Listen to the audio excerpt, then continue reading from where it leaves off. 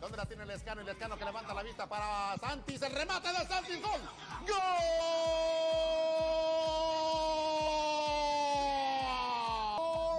De comunicaciones. Gol del Albo. Al 7 y medio de juego. Lelito Santis. Y después la recupera ante Pedrito Samayoa. El centro, pero primero el movimiento que le hace Santis. Le marca dónde quiere el pase y el escano que se la manda como con un guante ahí el Elito Santis de primera, de pierna derecha, la prende y la manda a guardar para batir a José Carlos García y es el 1 por 0 sobre los 8 minutos de partido. Oscar el Elito Santis de pierna derecha. Desde el fondo, aquí está José Carlos que filtra balón ahora para Corina que cambia de juego abierto por derecha. Atención que se viene Santi, la adelantó Santi, línea de fondo, mete el centro, balón atrás, Corena, gol. ¡Gol!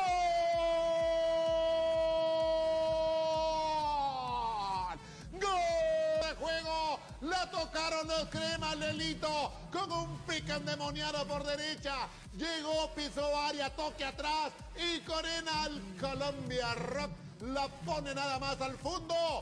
El segundo de la noche para Corena. Y Comunicaciones lo gana, lo golea 4 a 0 Iztapa. Y Corena se coloca como uno de los goleadores crema, llega a tres goles. Balón para APA, está línea de fondo, taquito, balón para Santis, llegaba Santis, le va a pegar de zurda, la pelota cerca del palo derecho.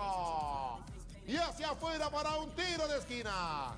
Bueno, intentó ahora Oscar el Elito Santis, pero primero esa jugada por todo el sector del centro entre el mismo Aparicio, José Manuel Contreras, el Team Herrera que derivó por el sector de la derecha para que Aparicio nuevamente apareciera y de, de taquito le diera esa pelota a Santis que la gana también venía con todo y me parece que era Rafa mete servicio la pelota dentro del área chica, peinaba al mollo, buscaba a Santis de chilena, Santis, el rebote y dos tiempos. Les peinaba ahí entre Cristian Guerra y el Team Herrera, no podía despejar tampoco Anthony Torres, pero el todo quedó en las manos de Kevin Moscoso. Atención, llegará la jugada que viene por sector de la derecha, el centro que viene cayendo, cabezazo del team arriba. Así entonces el desarrollo del partido, buena habilitación que venía por derecha del Elito Santis. Bueno, ojalá y no nos emocione este partido como fue el de Comunicaciones. Cabeza que llega del pelón Steven Robles.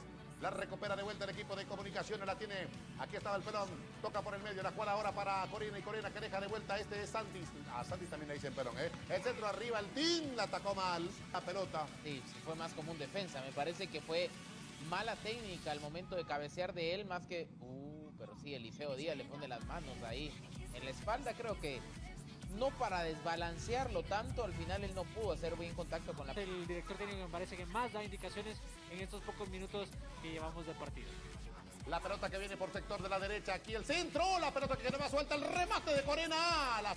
Y ya son dos llegadas de comunicaciones en estos primeros seis minutos. Bueno, tres sin contabilizamos aquella que no recepcionó de buena forma Agustín El Team Herrera, pero en el partido ante Shela y hoy empieza a hacerlo en esa jugada de Santis que va a ser un constante dolor de cabeza para Juliancito Priego en ese sector. Sion, el jugador número 18 de Crema.